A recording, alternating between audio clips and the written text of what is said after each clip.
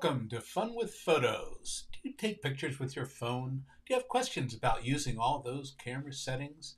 And how do you manage your lifetime of photos so you can find and share your favorite memories?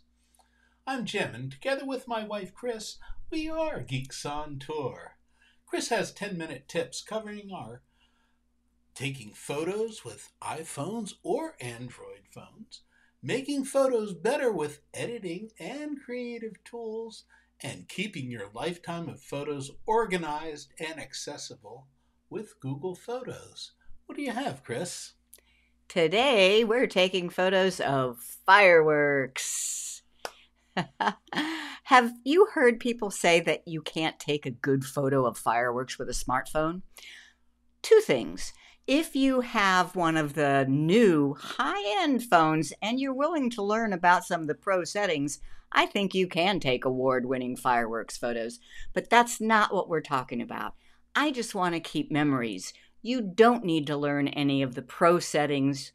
Just take the phone out of your pocket. You're going to get some good fireworks memories photos.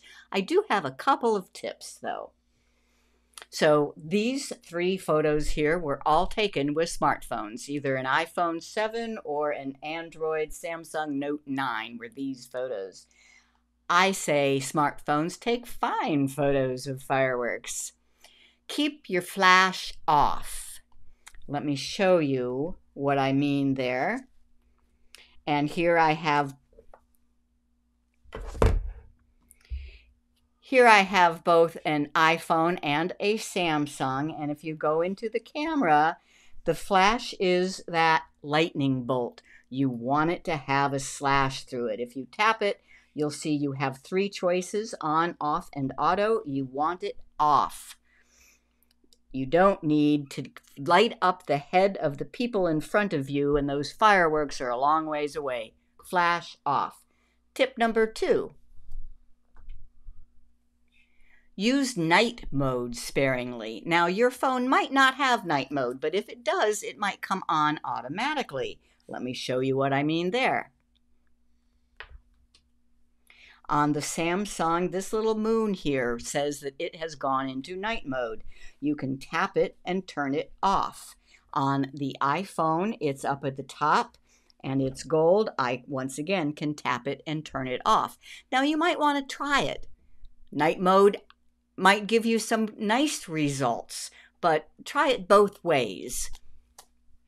Next tip is to take videos. These are great video cameras. And when you're at the fireworks, you want to see all the action and hear the sounds. So take some videos along with your photos. Consider a tripod, but you really don't even have to. And then my number one tip is to turn motion or live on. And let me show you what I mean there. On the Samsung, it is, and you, it can't doesn't work in night mode. it is this little play button up here. Tap it if it says off. Tap it again. I say leave it on Motion photos will take up more space, but they're worth it when you see what you can do. On the iPhone, it's this little bullseye icon. It's called Live. If you if it says Live off, tap it again till it's live on, and you should leave that on. Then the things that you can do are so cool. Hi, this is Chris Guld with Geeks on Tour. And if you are a follower of our videos, our YouTube channel, you may have noticed that I'm a fan of live photos, also called motion photos. They're called live on the iPhone, they're called motion on the Samsung. It's when you get a few seconds of video along with just a still shot. In this video, I want to show you what you can do with these live or motion photos. There are three main things you can do with motion or live photos. You can pick the best shot out of that three seconds worth of video. You can export just the video or get an animated GIF. You can make a movie that includes the motion. Now, there are some distinctions depending on which phone you have and whether or not you use Google Photos. I am going to start with the iPhone because in the iPhone, the Google Photos doesn't do this. You need to use the Apple Photos. Here is a fireworks picture, and it looks just like a picture, right? But no, it is a live photo. So that means if I hold down on it, I see the three seconds of video. Now, I want to capture a different still frame than this. To do that, you tap Edit, then the Live button down here at the bottom. Now I see a little film strip of all the different pieces that are in this, and I'll say, ooh, yeah, that's the one I like best you tap Make Key Photo, and done.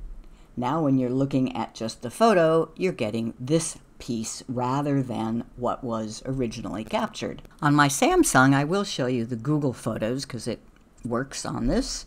And here is a fireworks photo. It looks just like a photo, but in Google Photos, you tap this little play button to see the motion involved and I want the main photo to be where it's red in there. What you do is you swipe up and that reveals the little film strip. You tap on the film strip and now you can position the to get this frame that you want. I like that one. I tap save copy so that's a little bit, it, now this is a, an original photo and it is just a photo, but the live photo is also still there.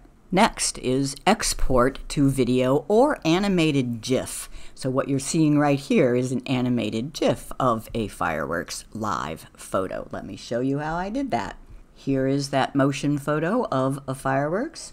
And if I tap, either tap the three dots, or just swipe up, then you have a lot of options. This is in Google Photos on the Android. And one of the options is export. Tap export and you have the choice to just get the still photo, get the three seconds of video, or get an animated GIF and export. And those are fun. The third thing you can do with your motion photos is to make a movie. This is my favorite.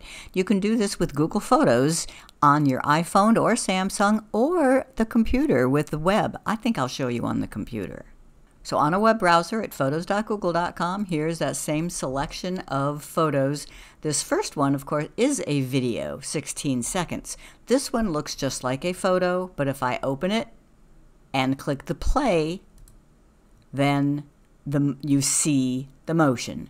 So, and that is the case with these next three. I'm just going to choose three to make this quick and easy. I'll select that one, select that one, and select that one. Then you click the plus and choose movie.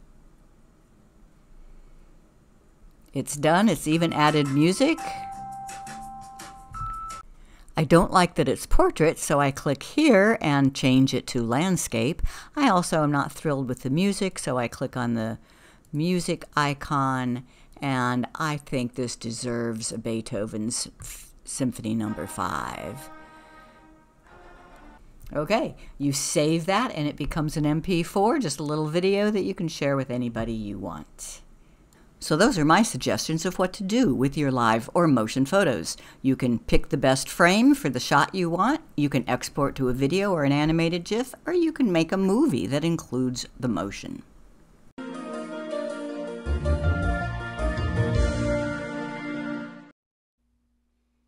So if you're going out on July 4th or any other time where there's celebration with fireworks, don't hesitate to take that phone out of your pocket and snap away.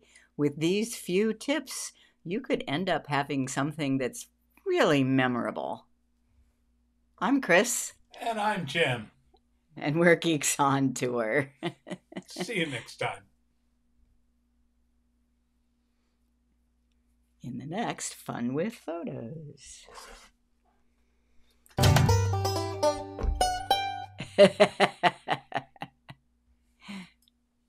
Did that